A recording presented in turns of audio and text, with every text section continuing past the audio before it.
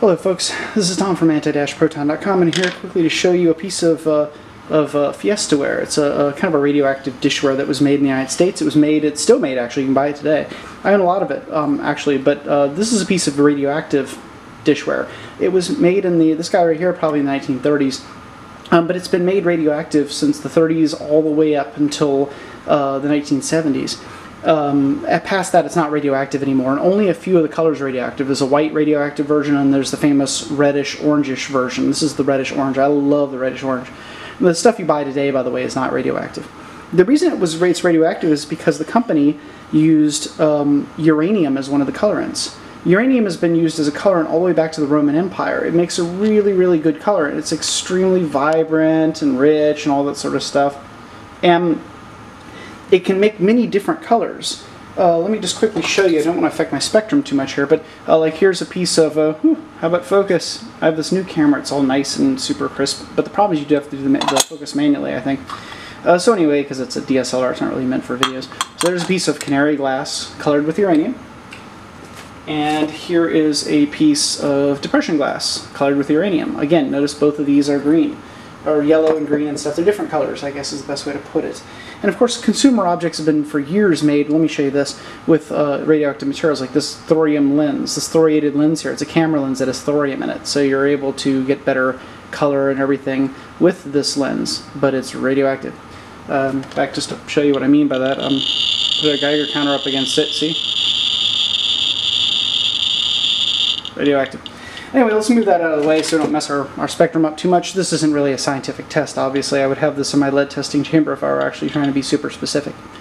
But as you can see here, this is a multi-channel spectrum analyzer connected to this little Polimaster cesium iodide thallium dope scintillator.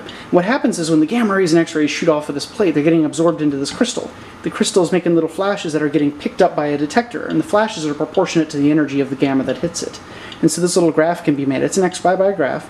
So the x here going across is the number of the amount of energy. That's low energy, and this is high energy, goes all the way across. And then these little lines here are the channels. Each channel is, um, takes uh, absorbs a specific type of energy, specific um, amount of energy. So here's low energy, and it counts, counts, counts. Here's lower, higher energy, it counts, counts, counts. And you see little statistical trends, like these little peaks are forming here, that tell you that at around this particular energy range right here, something showed up. You can see because this peak here is more defined than other ones. And there's a lot of math to know if it's actually true and stuff. We're not getting to that. Just looking at this guy right here, I see a protactinium peak, and I see uh, uranium X-rays, um, probably some thorium, uh, maybe 230, maybe 120 something or other. I think it's 124 off the top of my head.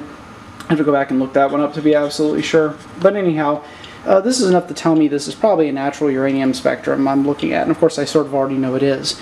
Um, unlike most devices, just out of curiosity, let's see if we can identify anything. Does this identify anything? Background, protactinium 234, radium 226, uranium 235. Hey, look at that! This thing detected it. You can't probably see that on the on the um, screen very well. Let me kind of move in here unless you get a good look at that. But look at that. It detected them, confidence intervals, and all this other stuff too. Thank you, Polimaster, or as I famously say, go Polimaster, go! Well, anyway, sounds like Pokemon, right? Uh, if I get out of this, I can go back, oops, and we can go back to stop accumulation, and we can quickly look at, at a few other quick things. We can go to neutron count.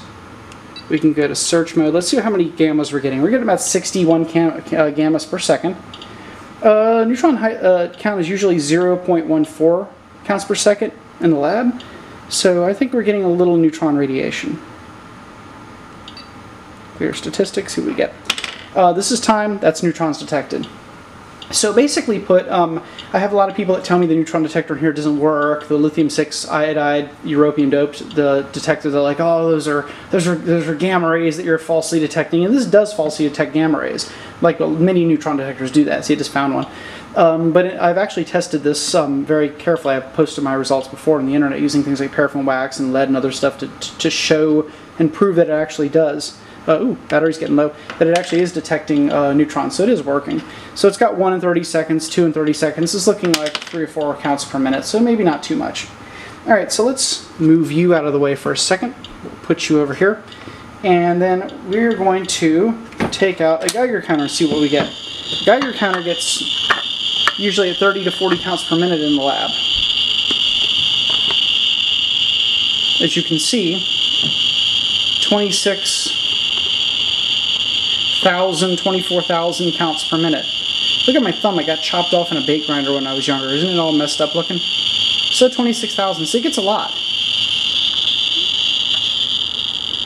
But most of that's alpha, which isn't really too dangerous to you if it stays on the outside of your body. You see. Alrighty, let's put that down there. I gotta get the autofocus to work in this thing. And let's try one last detector before we give up. Let's try the scintillator.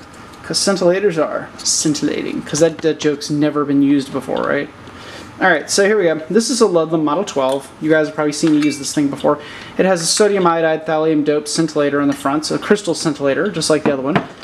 And uh, let's look and see what we're set to. We're currently set to, I'm actually looking through the camera, I should probably not do it that way, times 100 mode. What that means is that our background, which is about 3,000 counts per minute, uh, is right here displayed. It's 0, 10,000, 20, 30, 40, 50,000 counts per minute.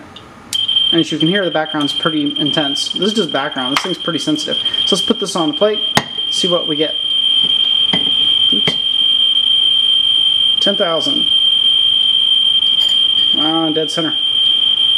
12. Can't do we get a do we get a 12,000? Looks like 12,000.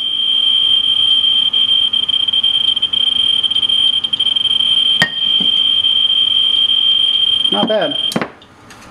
Not bad. So that right there is just a simple Fiestaware plate. Perfectly um perfectly not any trouble to have around. Um, you can have a collection of these things in your house. They aren't going to harm you. There is, of course, always a risk with radiation because it is uh, weakly, it's pretty much weakly carcinogenic. But it is a little carcinogenic. That's why you should always try to, like, you know, don't just get x-rays for fun, you know, don't do stuff like that. Don't, don't eat off of this stuff. Don't sleep it under your pillow. But if you've got some, like, you know, grandma and grandpa have, like, a collection of this sitting around, you don't need to throw it away. You can keep it. It looks nice. Just don't eat off of it.